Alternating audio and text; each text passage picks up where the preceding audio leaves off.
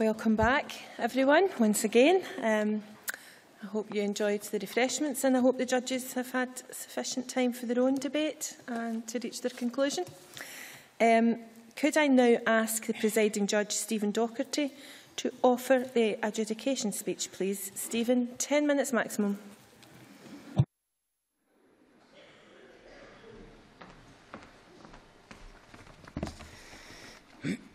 Deputy Presiding Officer, uh, Madam President, uh, uh, Mr Past President, uh, fellow judges, debaters, ladies and gentlemen, ladies and gentlemen, old man Tom Cobley and, his, uh, and, and various others.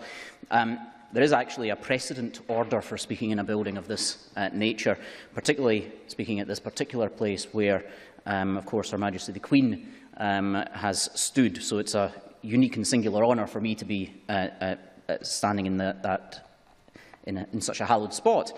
Um, this competition is named after uh, Donald Dewar, who, of course, regrettably never got the chance to speak in this chamber that he inspired. Um, he was uh, one of Scotland's greatest debaters um, and more responsible than many people for our Scottish Parliament from being, uh, being established. One of his great driving uh, desires was a desire to see everyone succeed in Scotland, especially the young. Uh, and so it's particularly fitting that the Law Society has um, honoured Donald Dewar with uh, the naming of this competition um, in his uh, with this competition in his, in his name, um, because it does bring together uh, the very best of uh, the, the Scottish schools debaters, and we've seen plenty of evidence of that here tonight. Um,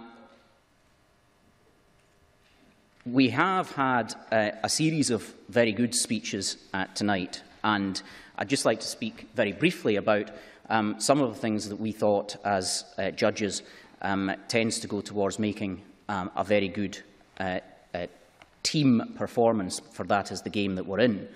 Um, one of the most important things, of course, is to ensure that you have the right mix of people in your, your team. Sometimes that's different clashes of styles, sometimes it's uh, people who play well off each other, but, but it's important to have the right mix, which means you have to have two strong speakers. Those speakers then need to use all three of the speeches in the debate very, very well. Um, oftentimes what you get is uh, people forget to rely upon the reply speeches, which can sometimes be a very good way of summarising uh, where the debate has gone and where it's, uh, where it's ended up, uh, and making the points that you want to specifically rely upon.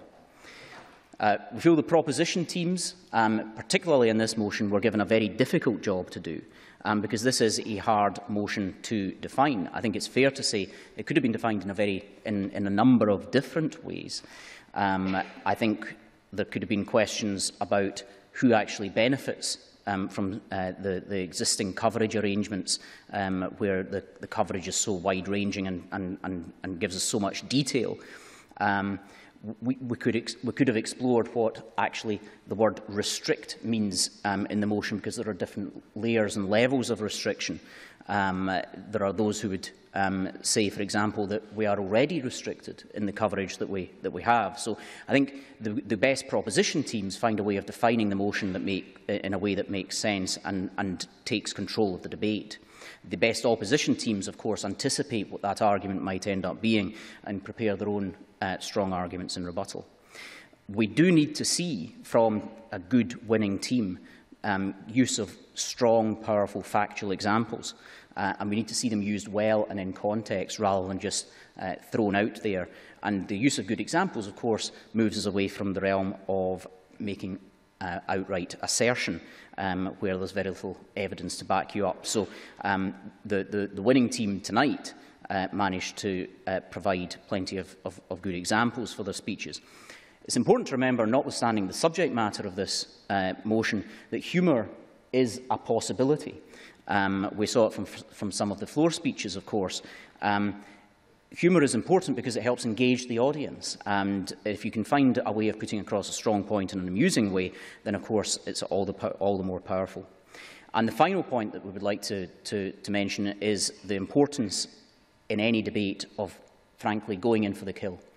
If your opposing side is floundering and uh, has left themselves open to attack, then your job uh, on the other side is to, frankly, go after the blood in the water. If they're, flaring, if they're flailing around uh, in the water, they're just inviting attack. So it is about debate, it is about argument, it's not about accepting what the other side have said, um, it's about going for the kill where you possibly can.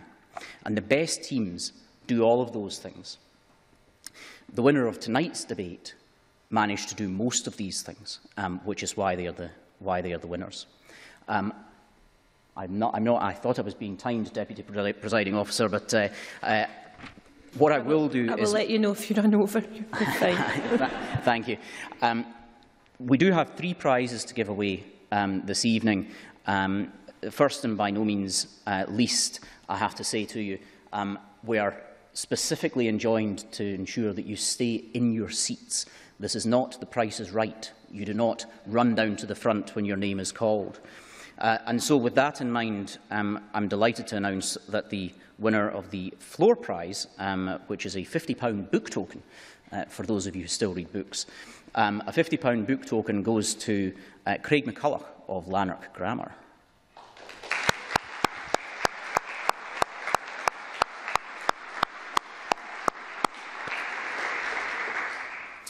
Uh, so much for the appetizer. Um, the Second placed team, and I have to say um, the time that we used in our judging room uh, was uh, uh, actively used in terms of trying to divide between all four teams who all did very well, but the, the, the, the, there were two that emerged uh, close to the top, and it was a difficult job to separate um, them out as well. Um, but the team in second place, um, who receive a prize uh, sponsored, on, I understand, by the Glasgow Bar Association, um, is uh, the two Davids from Prestwick Academy.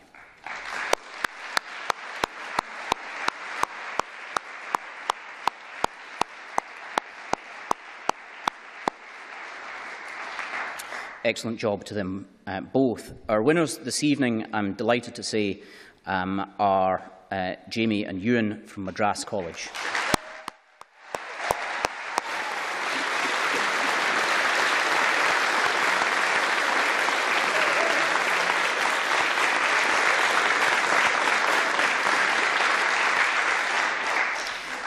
All that remains, of course, Deputy Presiding Officer, on behalf of uh, myself and my fellow judges uh, and all present, is to thank the Parliament for their hospitality this evening uh, and to wish you all good evening. Thank you very much.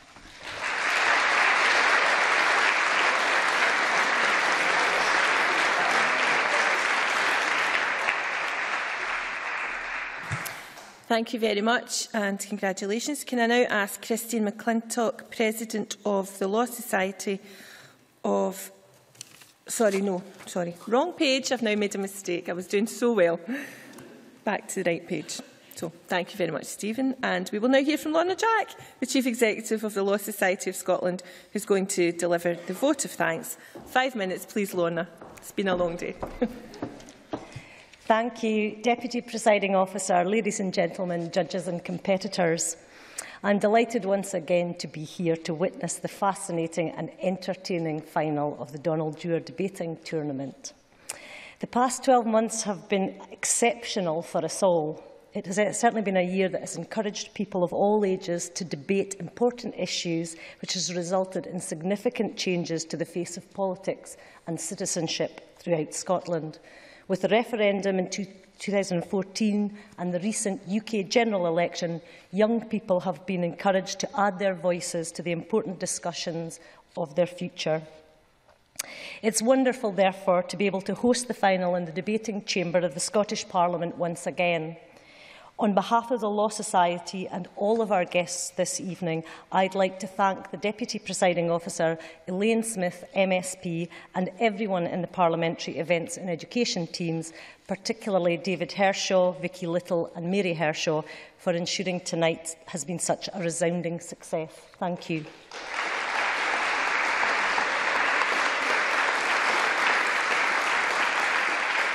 I think it's worth reminding you just how far the competitors have achieved in reaching the final.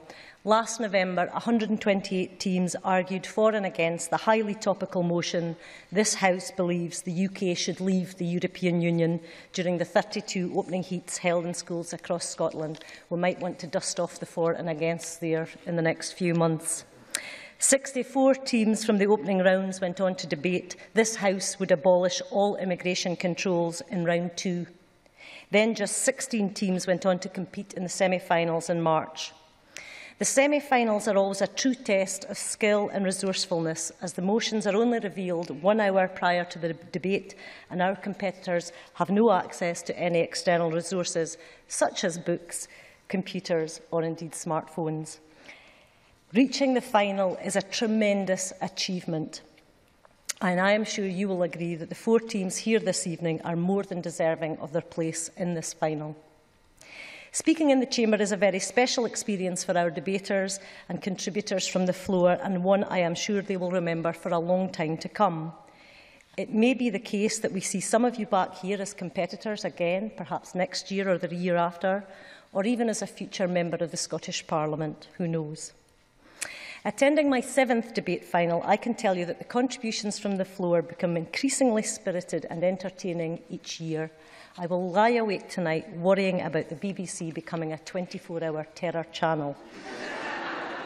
well done to you all who took part in the floor debate this evening, and in particular to our prize winner, Craig McCulloch. Perhaps we will see you in front of the future, a future judging panel before long. And as been, has been said already, sitting in the gallery are the supporters whose backing is immense, the teachers and parents of our debaters, the coaches who have challenged and supported the teams here this evening. It's your support and hard work that has encouraged these people's success. I'm sure you are very proud of them tonight. Also in the gallery are some of our esteemed judges from earlier heats and the semi-finals. Every year we rely on volunteers to make the tournament a success and this year more than 100 of you gave of your evenings, sometimes having to travel some distance in uh, you know, the usual horrible Scottish weather to judge in the opening rounds. Thank you for your support, your constructive feedback to, to the teams, which ensures that many schools enter our, our tournament year after year. Quite simply, without your involvement, there would be no tournament. We do hope you've enjoyed the experience and perhaps you're all ready to join us again next year. It's with great pleasure that I can now turn my attention to the judging panel tonight. I certainly did not envy their difficult task of selecting our winners from the very talented group of finalists that we had before us. Once the event has drawn to a cl close, I'd like to present you with a token of our appreciation for the fantastic job you've done here this evening. Thank you again.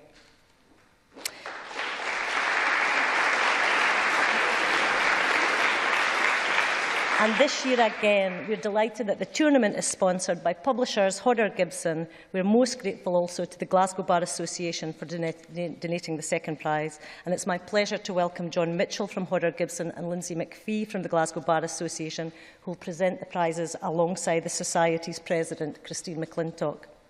Thank you for your continued support, which each year helps ensure that pupils across Scotland have the opportunity to compete in this tournament.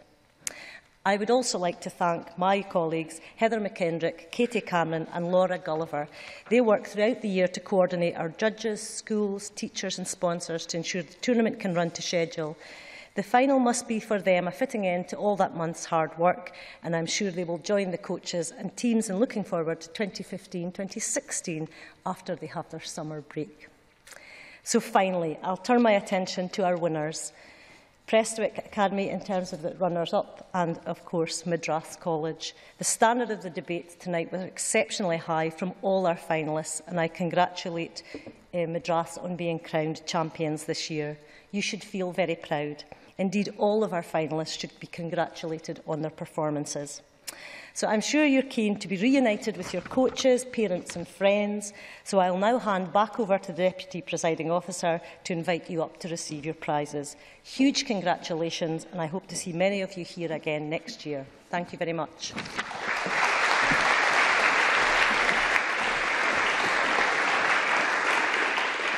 Thank you very much, Lorna, and of course another thanks again to all the judges for their time uh, this evening. Thank you very much. We now move to the presentation of the prizes and I'm delighted to announce that all of the finalists will receive a commemorative quake for their efforts as well as a book token. The winner of the Best Floor Speech is going to receive a £50 book token. The runners-up and the winning team will share £500 worth of books from the educational range supplied by Hodder Gibson. The runners-up will receive the second prize of £250 towards their debating society courtesy of the Glasgow Bar Association and the winning school will receive £1,000 towards their debating society and of course the all-important trophy which is theirs for one year only. So could I now ask, this is a rerun of what I said earlier, could I now ask Christine McClintock, President of the Law Society of Scotland, and Lindsay McPhee from the Glasgow Bar Association, who have donated the second prize, and John Mitchell of Hodder Gibson Publishers, sponsors of the tournament, to come to the floor of the Chamber for the prize giving, please. Could I ask Christine to stand beside the prize table with Lindsay beside her, followed by John. And I am now going to ask Craig McCulloch, Lanark Grammar, winner of the Best Floor Speech, to come forward and receive your prize, please.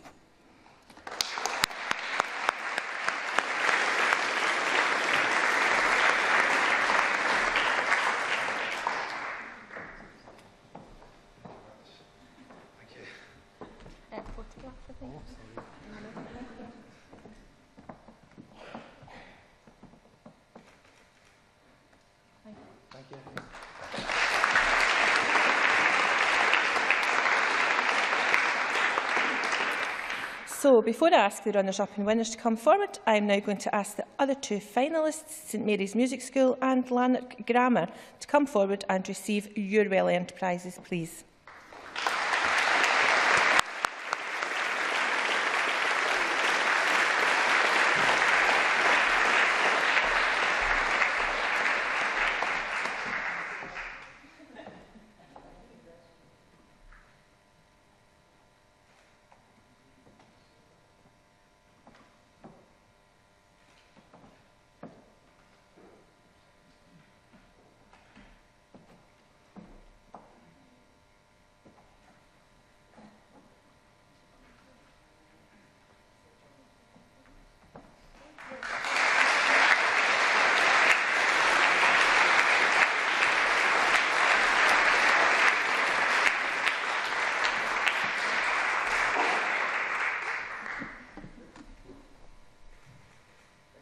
Thank you very much.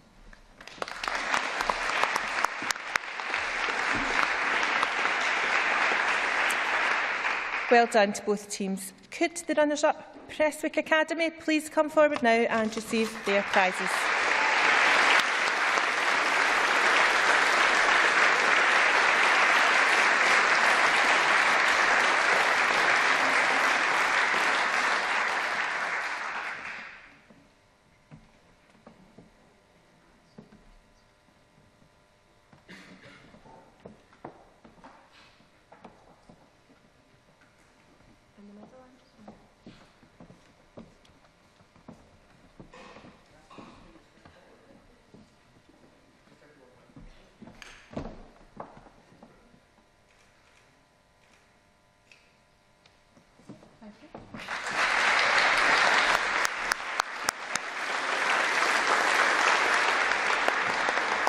Well done. Last but far from least, can I now ask Madras College to step forward and receive your prize, please, as winners of the 2014-15 Donald Dewar Memorial Debating Tournament.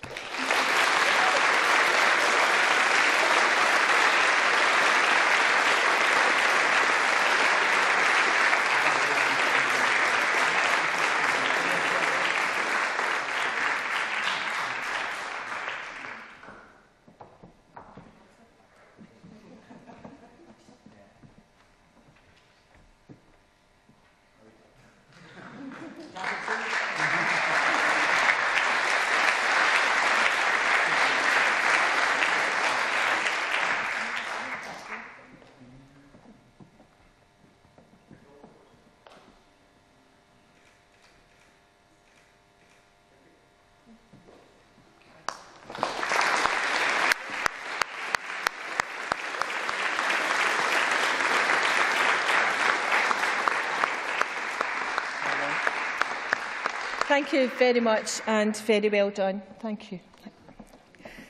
You should all be extremely proud of your contributions this evening and of reaching this final, which is a, a fantastic achievement.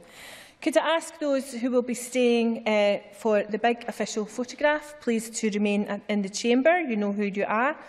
And undoubtedly, this has been an absolutely brilliant debate this evening and hopefully enjoyable for all, certainly enjoyable for me. I want to take the opportunity to thank everyone for, for your participation this evening. Good night and a safe journey home, please. Thank you.